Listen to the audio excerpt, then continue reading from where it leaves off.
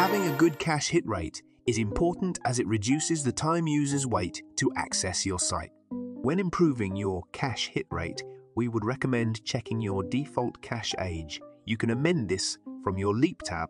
If your hit rate is low, we would advise increasing this to 30 days.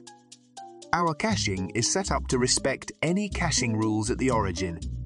Sometimes, cache control headers set up on your server can prevent our cache from hitting.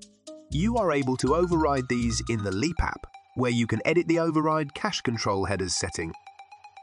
Finally, check your plugins.